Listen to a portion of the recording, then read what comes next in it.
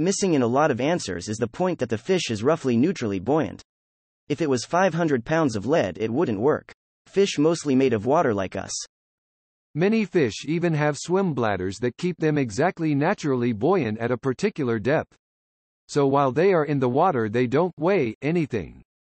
Out of the water is a different story, which is why fishermen always use a net to scoop fish into the boat. It would never work to lift a 500 pounds fish out to the water by the hook. Many poles have limits. You also don't fight the fish as hard as you can, you let him run, you fight a bit and tire him out. Most reels nowadays have drag systems so I can set my line to come out when the fish applies so much weight. I can basically make the fish pull an extra 50 pounds or so. What I want to know is how the fuck Leo Kloostermans reeled in a 573 pounds marlin on 4 pounds line. Only 20 minutes fight too. I fought a 180 pounds Mako for longer than that on 100 pounds test LMAO. The pole, line, and man aren't stronger than the fish in water.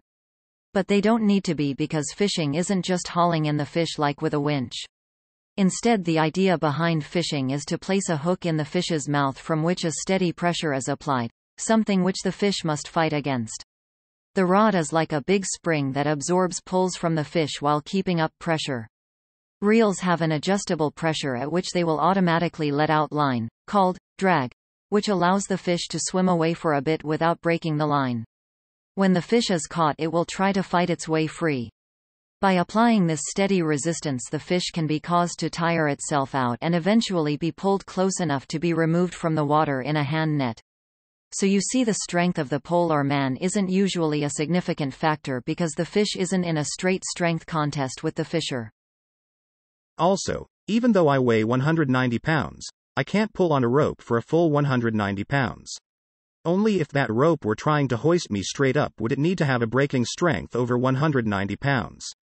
I'm sure fish have a higher weight, pull force ratio than I do, but the principle is the same. As others have said, fishing isn't about beating the fish in terms of strength. It's about exhausting the fish and then making the most of every bit of force. Fish, generally, have lots of short-term energy, but quickly tire and build up metabolic by products in muscle that take time to remove. Humans are much better at a sustained activity and much better at aerobic muscle use. So you let the fish run, then when it slows you start reeling, then you let it run, then you keep reeling. While reeling, you pull hard on the rod to bring the fish in close, then gently wind in the slack on the line minimizing the force applied to the reel and making use of the strong and flexible rod. Do these metabolic by products affect the taste of the meat? Is low-stress fish more desirable? The weight isn't as much of a factor as the power, speed the fish can generate. Fish are approximately neutrally buoyant, so they weigh basically nothing in the water. If the fish didn't move at all, would still feel the mass and have to overcome the drag of the water when pulling it in. But it would not be the same as 500 pounds being lifted out of the water. Most fighting fish are pure muscle, and when they swim and pull on the line, that is what is doing most of the bending of the fishing pole. Dot. Beyond that, most rods reels have devices built in to keep you from breaking the line or the rod.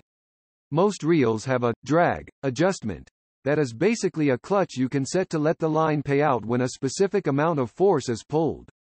This generally will help keep things from breaking as long as you don't run out of line. It's been said but it's all in the drag. Let the fish stay underwater and let them pull a while. It can be 10 minutes or it can be an hour. That's the fight. Once it's tired itself out, it's just like hauling a log out of the water. Grab it with a gaff hook and haul it in the boat. You'll need a hand or two for a monster fish. Dot. It better be something worth eating if you're going to gaff it though. Drag. It's basically one mechanical feature. People catch large fish on lines that break with almost comically low tension. If the line breaks at 20 pounds of pressure, the reel can be set to spool out if it hits 15 pounds. So you just have a constant 15 pound pressure on the fish until it's exhausted. That's less possible when the fish is able to circle around coral or other structure. The line will snap on Coral 9R rocks. If that's the problem, like with a grouper, you have to haul them off the bottom with sheer power and leverage. There are mechanical devices that do it for you but it's less sporting. Drag keeps the line from snapping from sudden runs, but has little to do with tiring a fish. The bend in the road exerting constant pressure is what does that. Should be noted that if you go after the big fish on a boat, they use a special chair that you are strapped into. This is the answer. Yes, everyone talking about physics of reeling in are correct, but usually it's not 500 pounds fish versus 200 pounds man alone. You are attached to the ground with your feet, and have a lever in the fishing pole. The fish is pushing against water. A fish in the water doesn't weigh 500 pounds. One is fighting the strength of the fish more than the weight. The fish has nothing to push against but water. The man is standing on solid ground or a boat. In addition, poles for fish that big are set to allow line to play out with some resistance, and reeling in just raises that resistance. It's not like the fish is just pulling on a taut rope attached to the human. It takes a long time for the fish to tire itself out as the human reels it in. I think the answer you are probably looking for is in spearfishing. Dot. A diver that is attached to a fish via spear will have a very hard time if that fish is big enough and strong enough. I am speaking from experience having to cut line due to a bad shot on big tuna to prevent it drowning you is rare but does occur. They can quite easily pull a full-grown man down or along in the water once at a certain size. Friction. Energy fish puts out asterisk U water as not equal your energy output asterisk U ground. Alas you win eventually.